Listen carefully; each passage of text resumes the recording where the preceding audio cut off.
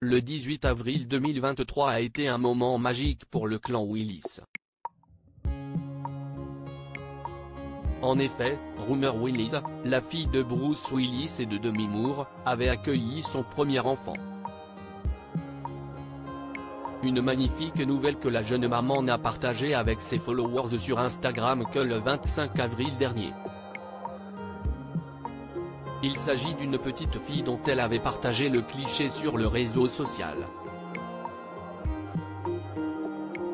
La jeune mère de famille de 34 ans en a profité pour partager le nom de son petit bout de chou.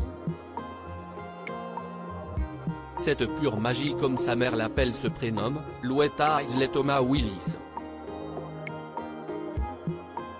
Tu es plus que nous n'avons jamais rêvé. Avait-elle mis en légende à la photo Pour cette fête de mère, Rumor Willis, Scout Larue et Emma Emma Willis ont en profité pour partager des clichés émouvants de l'accouchement de Rumor aux côtés de Demi Moore.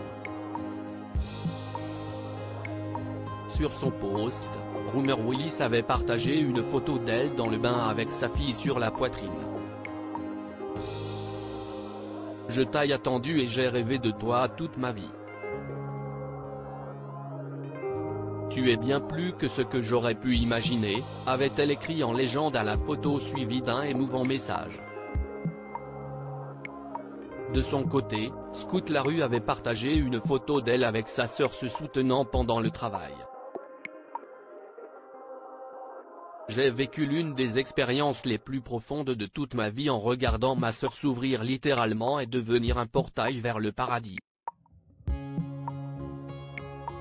La fête des mères frappe très fort cette année à Rumeur Willis tu es une icône, tu es si courageuse et merci d'avoir fait de ma toute nouvelle petite meilleure amie, avait écrit l'actrice de 31 ans en hommage à sa sœur.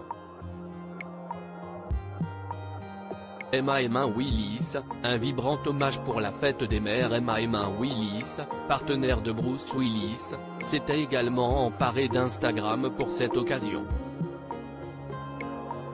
Elle avait notamment partagé une magnifique photo de famille.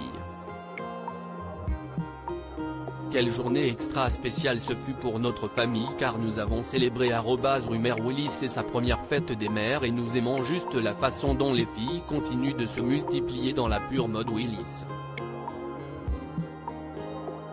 Nous t'aimons tellement Louetta, avait-elle mis en légende à la photo.